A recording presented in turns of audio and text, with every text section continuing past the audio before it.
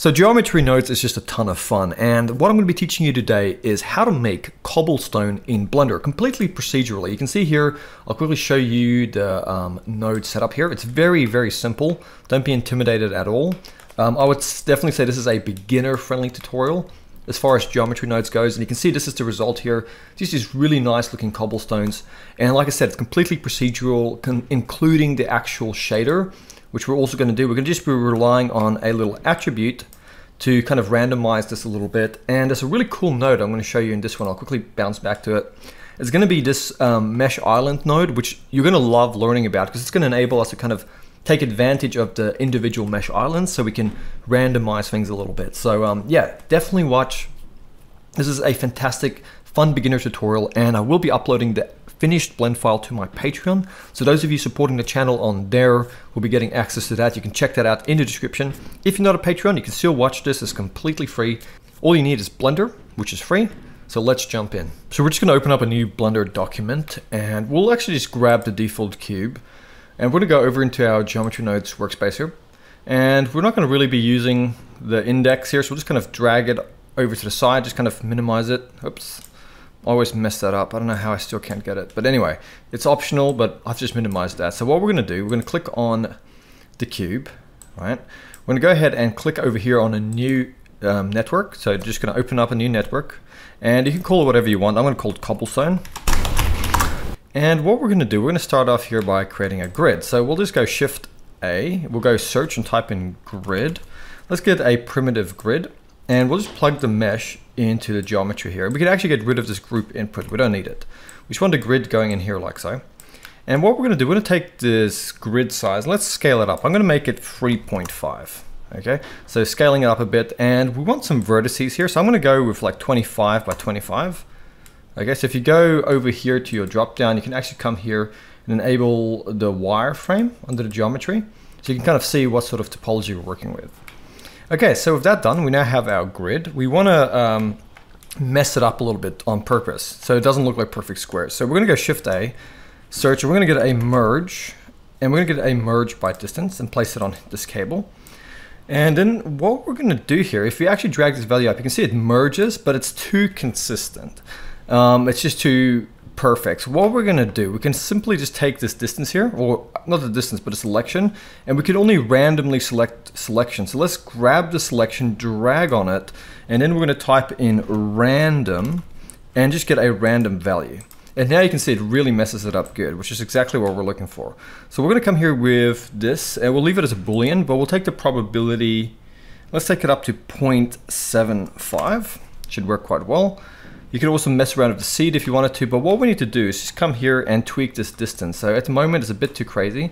So let's just drag through till we get something that looks kind of appropriate. So I'm gonna go with um, 0.25 should be fine. As you can see here, that's looking really good. So now what we wanna do to make this look a bit more like stone is we wanna also go Shift A, search and get a dual mesh. So type in dual and get a dual mesh node, place it on the cable. And now it looks a little bit more like stone, not little triangles. And it's kind of like splitting it in a very interesting way. So it kind of looks like little cobblestones. We're then going to split the edges so we can scale them as individual elements because we don't want them all to be one slab. So what we're gonna do, we're gonna go Shift A, search, we're gonna get a split and get a split edges, place it on the cable. So it's now actually splitting these edges and to be able to visualize that, let's just simply go Shift A, search and get a scale and get a scale instances. Whoops. Sorry, let me try it again. Scale and scale element. Okay, I shouldn't have said scale instances. That was a mistake. We're scaling the elements, not the instances. We're going to place it on this cable. And what we're going to do is we'll leave it as face and um, uniform. We want to come here to the scale and just drag it just a little bit into the negatives, just like this. Just we get a little bit of distance like that. We might come here and change it later once we apply the subdivision, because that's gonna kind of cram things up a little bit. But from here, we're just gonna go ahead, Shift A, search and get an extrude. Oops, keep misspelling it, extrude. So you can type in extrude, get an extrude mesh and place it on here. And you can see by default it does this. So we're just gonna come here to the offset and just bring it down And you can see we have our cobblestones, but one of the things that just makes us so unrealistic at the moment is that cobblestones are not this perfectly even. Kind of one of the charms and beauty of cobblestone roads and pathways is that they're very inconsistent with their height. Um, so let's go ahead and randomize this. So we're gonna just take the offset scale, I'm gonna drag on it. Let's just type in random, once again, grabbing a random value. And then let's just mess around with these. So we're gonna make the smallest amount 0.1. And let's just bring this max down so it's not as crazy high. So maybe, I don't know. You can, you, you're completely free to kind of mess around with these values all you want. It's, it's more of a personal preference thing at this point. It's not really a right or wrong. So you can see here, we've now randomized that and that's looking a lot better here. Okay, this is exactly what we're kind of going for. So let's now move up past the extrude mesh and let's go shift A, search and get a sub and we want to get a subdivide mesh, not a subdivision surface. Okay, don't get the two confused. We want to get a subdivide mesh and put it on here, like so. And then we want to go shift A, search and get a subdivision surface. So subdivision surface and then place it next to here. Because if we actually didn't have this, I'm just going to mute this one. You can see it just cr crawls up, crawls up too much. So with the subdivide mesh first, it kind of tightens things up like that. So um, you know, you can kind of come here to the subdivide mesh and mess with the level to make it more smoother before it gets the subdivision surface. So I might just go something like that. I think looks cool. I'll go level of two here, but it's up to you how you want to do that. For now, I'm really not liking seeing this um, mesh overlay, um, line overlay here. So I'm just gonna go here to the geometry tab and just kind of get rid of that wireframe here, like so. Okay, so now let's just go Shift A, search and get a set material.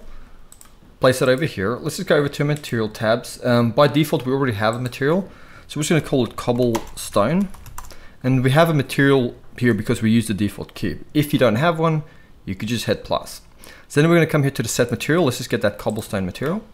We'll get back to that later, but for now we need to do a few things. So Shift A, search, let's just get a set shade smooth. So set shade smooth, place it here. So now we have smooth shading. Let's move up a little bit. And the thing is, if we were to actually go into our material editor now, our shader editor and add a material, we couldn't really randomize the, the shading and color on the individual tiles. And the reason is, is because it's not recognizing them as their own individual um, little islands. It's just all one mesh as far as the shader editor is concerned. So we can do a little bit of work here to make that happen. It's not too complicated. This is really handy little node in Blender called the Mesh Island node. So we're gonna go Shift A, search, we're gonna type in Mesh Island. And I love this node. So we're gonna take this Mesh Island node and we're gonna go Shift A, search and get a map and get a map range. And we wanna compare with the island index. We're gonna take that island index and plug it into the top value. And then we want to just take the island count and that'll be our max input. So it'll be comparing with the max. Okay. Um, so float and linear are what we want to go for, but this is not going to be randomized enough. So what we're going to do, we're going to go shift A, search and get a noise texture. And then we're going to take that result, which is giving us those compa comparing the index values here. We're going to take the result, and we're going to plug it into the vector here, like that. And then we can really kind of mess things up here with this. So I'm gonna just maybe take this up to seven here on the scale. You can always mess around with it later. And I think we'll leave the, maybe take the detail up to three. But that's all we need for now. And then let's just take this factor and plug it into the group output. And then we can take that factor and use it. So what I'm gonna do is just to be organized, I'm just gonna press N and I'm gonna go to my nodes here, or the group, okay? And then I'm gonna come down here to the group sockets. I'm going to click on, double click on that factory plugin. I'm just going to call it um, random color, so C-O-L. You can call it whatever you want, okay, as long as you remember exactly how you spelt it, okay? So I'm going to call it random col for random color. And then what we can do now, make sure to save, is you can go into your shading workspace. I'm going to go over to my render properties and I'm just going to change it to cycles. And I'll make my device GPU. Now you might not have a GPU, so just stick to CPU. And my max samples, I'll just make it 45. So we're gonna go into our camera view and we're gonna go Z and we're gonna go rendered. And you can see this is what we have. And I'm gonna actually click on the cobblestone here. We have our cobblestone material that we added earlier. And what we wanna do, we wanna grab that attribute you created. So we're gonna go Shift A, search and get an attribute node. And we're gonna come here to the name and we need to remember that. So it's random Now if you've used any sort of capitals or any spacing, it matters because this really does look at the exact attribute name, okay? So if I were to take this um, factor now and plug it into the base color, um, it's not really doing anything. And that is because I think I've messed something up here. If I actually go over to my um, modifiers and I go to my output um, output attributes, I need to actually put the name in here, which is where I messed up. So I'm just going to go random col. There we go. And now you can see that works. So um, yeah, I named the wrong thing. Okay, I should have put the attribute name in this little space here, the little box here. So now we have this to work with. So I can go Shift A, search, and I'm going to get a. Um, I think I'll just get a mix, and um, I'll go with the color, place it on here. And what I'll do is I'll go Shift A, search and get a noise, get a noise texture.